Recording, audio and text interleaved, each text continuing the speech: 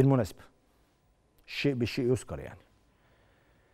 اتحاد الكورة وده من المطبخ قوي من المطبخ قوي.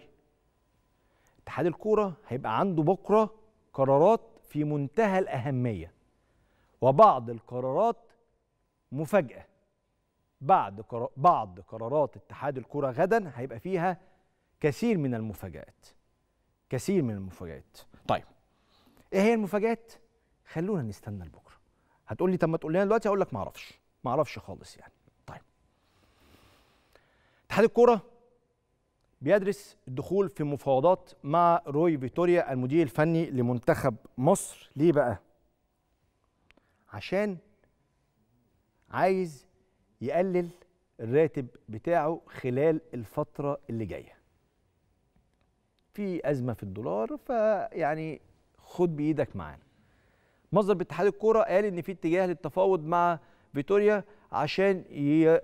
يخ... يعني يعني يقلل الراتب بتاعه شوية أو ياخد جزء منه بالجنيه بالجنيه المصري.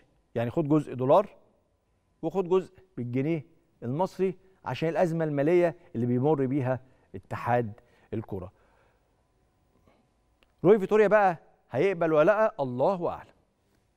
الله واعلم برضو دي من الحاجات اللي فيها مفاوضات. طيب. اتحاد الكورة كمان بيدرس تعيين المستشار سيد بنداري رئيسا للجنة الانضباط. هو كان رئيس لجنة الانضباط السابق.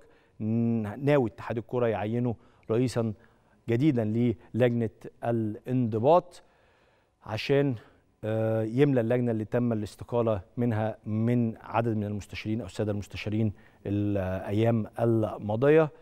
وكان زي ما قلت لكم المستشار محمد عبده صالح رئيس اللجنة السابق استقال وبالتالي اتحاد الكره عايز يشكل لجنة جديدة للانضباط عشان أنتوا عارفين في عقوبات وفي مشاكل وفي خناقات وفي حكايات وفي قصص هتفضل معلقة وهتفضل معلقة. فلازم يبقى في لجنة انضباط ولازم يبقى في ناس بتاخد قرارات ولازم لما الناس تاخد قرارات تتنفذ القرارات. فيعني إن شاء الله لجنة الانضباط الجديدة يعني تقدر تاخد قرارات وتقدر تنفذ القرارات ديت ودايما بيبقى فيها سادة مستشارين أفاضل بياخدوا قرارات عظيمة جدا وهي لجنة مستقلة ولجنة. لها كل الصلاحيات إنها تاخد قرارات حازمة حاسمة وقوية